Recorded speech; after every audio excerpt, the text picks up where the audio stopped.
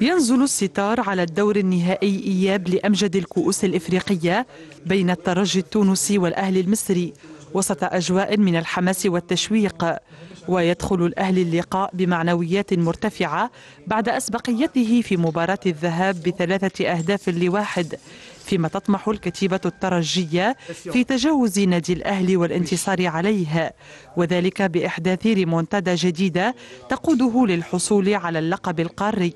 هذا ويعول أبناء معين الشعباني على عامل الأرض والجمهور لتجاوز تأخره في مباراة الذهاب.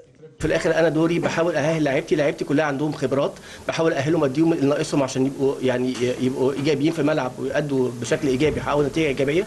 لكن في الآخر دي متعة إن واحد يوصل مباراة نهائية واللي هيلعب أفضل هيكسب وهنهنيه. ما نجموش. ننتصروا اليوم بنتيجة surtout معناها هدفين لصفر باش نجموا نهزوا ال Champions League من غير ما نكونوا appliqués sur terrain ومركزين على الكرة اللي نحن نحبوا نلعبوها. donc les à-côtés الكل ما معناها الملاعبيه نتاعنا خارجين معناها على التخمام هذايا ما إحنا التركيز الكلي كوننا نكونوا كما قلت لك bien appliqués نصبروا surtout مباراة نتاع صبر.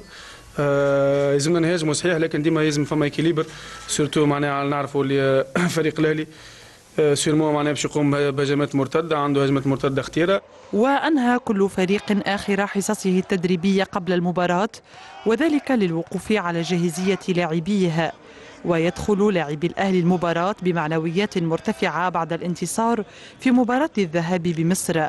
عاقدين العزم للفوز بالكأس من تونس فيما يهجف فريق الترجي للفوز باللقب معولا على الدعم الجماهيري على أرضه. إن شاء الله بإذن الله المباراة تعدي. ولا تؤثر في مدى العلاقات المصرية والعربية المصرية التونسية.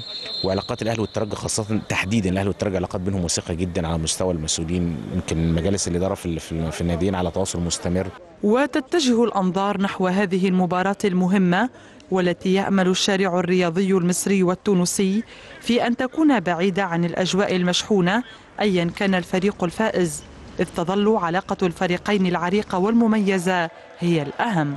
ساعات ويسدل الستار على نهائي كأس رابطة الأبطال الإفريقية بين الترجي التونسي والأهلي المصري على أرض ملعب رادس بالعاصمة التونسية وسط انتظار الجماهير العربية لهذا العرس الكروي المهم على أن ينتهي في كنف الروح الرياضية ويكون الفوز للفريق الأجدر.